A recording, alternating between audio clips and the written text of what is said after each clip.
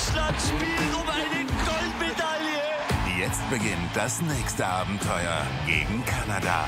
Donnerstag live bei Eurosport und erlebe Peking 2022 bei Eurosport auf Join.